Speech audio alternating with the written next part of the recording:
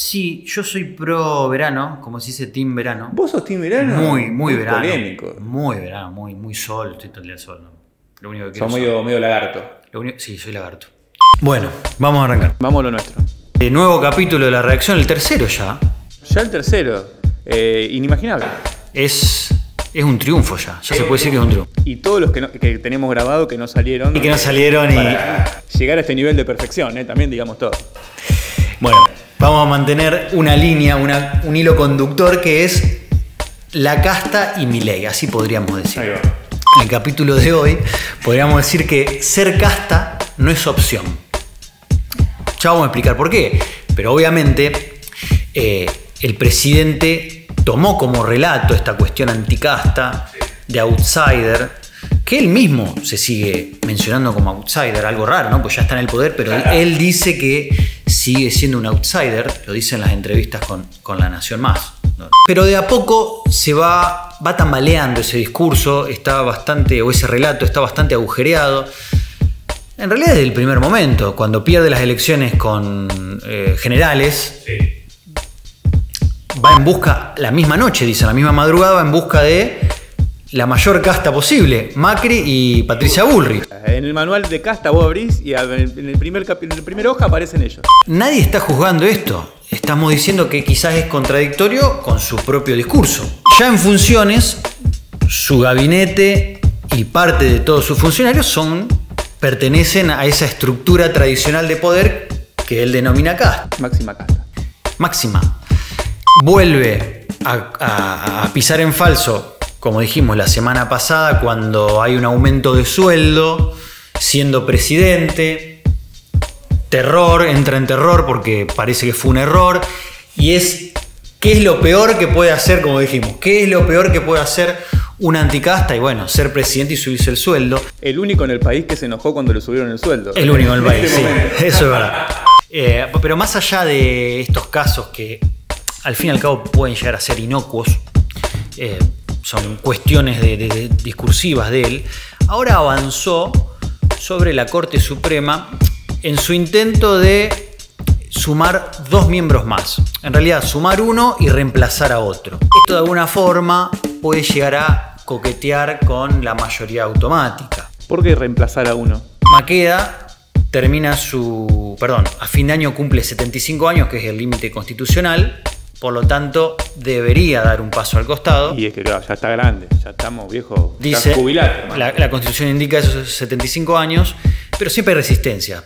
Suponiendo que da un paso al costado, Milei ya pensó en un académico para eh, reemplazarlo, pero quiere agregar a alguien más para llegar a 5, por eso hablo de la mayoría automática, mínimamente 3 y 2, con el juez eh, de Comodoro Pi, Ariel Lijo. A ver, si para mi ley la casta es igual a eh, algo podrido, podredumbre, Comodoro Pi es sinónimo de esto. Y un poquito, están todos ahí agarrados, atornillados. Y claro, y Ariel Lijo es un juez que está hace mil años ahí y que, bueno, lo, lo que se dice es que tiene actitudes de estas que, que se comentan en, en Comodoro Pi. ¿sí? Actitud de casta. Sin actitud de casta, sin entrar en, en- en detalle. ¿Cuál es lo esencial de todo esto? O sea, ¿para qué persigue y hace todo este sacrificio Milei que dice, bueno, voy a ir en contra de mi, de- de mi voluntad y voy a poner a dos personas que yo pienso en la Corte Suprema?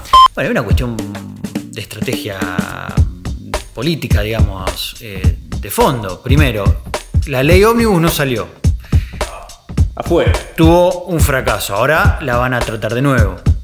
El DNU, totalmente agujereado. Con, con instancias judiciales que se lo frenan y que no. O sea, dos derrotas. Por más que ahora esté tratando de, de- de sacarla, sacarla adelante, ve que no hay. Que no hay un acompañamiento total y no está garantizada la victoria ni del DNU ni de la ley bases. Nada fue tan simple como creían que iba a ser, digamos. No, y encima plantea un pacto de mayo con 10 puntos para que lo acompañen y todos miran para el costado. Nadie, lo- nadie está en eso, no, no, no, es, no es momento, le dicen. De nuevo, tambalea también el pacto de mayo. Bueno, de alguna forma dice, está bien, no voy por acá, eh, les aviso que yo puedo llegar ahí por este canal, por esta eh, herramienta judicial más fuerte que es tener peso en la Corte Suprema. Digo, por si hay alguna instancia judicial de fondo, es la Corte Suprema. sí, como que va probando, va probando lugares. Es decir, bueno, vos me corres de acá, yo me voy por este lado. El arma más poderosa que tiene que, que- que tendría sería la Corte Suprema. Eh, entonces me parece que va un, un- un poco por ahí. A ver, de a poco, de a poco, y creo que mi ley con esto, eh, termina siendo el bautismo del presidente en la, estructura, en, su consolidación de poder. Digamos, el, primer hecho fuerte eh, para consolidar poder, avanzar sobre la corte. Antes quiso atropellar con una ley, quiso atropellar con un DNU y no pudo. Bueno, ahora demuestra otro calibre al estar al mando de la, de- del gobierno. Tampoco hay que aclarar que la tiene sencilla. Esto tiene que pasar por el Congreso, tiene que ser aprobado por dos tercios de los presentes encima, no de, la totalidad, sino de los, que estén en el recinto. Digamos, no es sencillo eh, poner a estos dos eh, nombres y, lograr este, este esquema que quiere de poder en la corte. Por más que no lo logre, la voluntad de él quedó, explícita. Yo avanzo incluso hasta en la corte. ¿En la corte tienen el ok de todo esto? ¿O también hay un poco de resistencia? Bueno, ahora, ahora empieza un, todo un proceso Claro, de, una novela. de- una novela. El presidente de la corte, que es Horacio Rosati, está, este- este- está como un- en una vereda enfrente a Milei. Ya se opuso a la dolarización, se maneja por, por otro lado. Eh, bueno, va, va a empezar todo un proceso de resistencia y de lucha de poder. Bienvenido al, al poder, le dicen Bienvenido, a viejo, Bienvenido al barro, ahora te metiste en una, en una complicada. Ya el- por eso mismo, el discurso y el relato de, de la, cas- de la anticasta ya no le va a empezar a correr demasiado a Milei.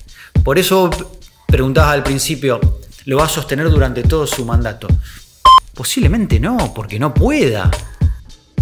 Sí, va a llegar un momento en el que va a tener que transar tanto que ya está. O sea, el, el- el mensaje se cae de por sí Es solo. que, el, a ver, eh, gobernar este país tan complejo, sin los, resortes del, poder tradicional, de la política tradicional, es imposible.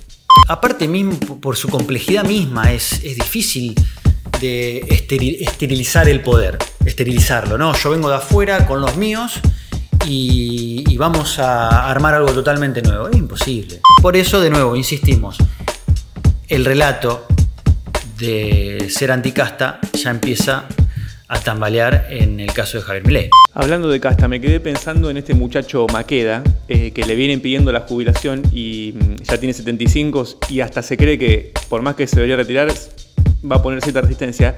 Qué pesado debe ser, ¿no? Como que esas charlas de, dale hermano, ya, ya está, andate. No, a mí me gusta acá, yo me quiero... No solamente es una cuestión de, eh, de diálogo entre los miembros de la Corte, esto es una lucha de poder fuerte judicial. Recuerdo a Fight que tenía 90 y, se- y Cristina eh, Fernández de Kirchner, el gobierno en ese momento, intentaba que el tipo salga del poder. Bueno, lo mismo, todos se quieren jubilar menos ellos. O sea, ¿qué, qué, qué está pasando? Eh, Bueno, porque cobran un sueldo bastante Cobran bueno, sueldo, ¿no? Tienen claro. algunos privilegios. Pero bueno, te voy a dar un consejo. Dale, consejo para cerrar el, el programa de hoy. Estudia abogacía, metete en el Poder Judicial, en Comodoro Pi si es posible, y eh, hacete amigo de, de mi ley. Bueno, arranco con la tarea y te comento cómo viene el, el plan la semana que viene. ¿Cómo seguimos la semana que viene en la redacción? Así que los esperamos. Bueno, me voy a estudiar.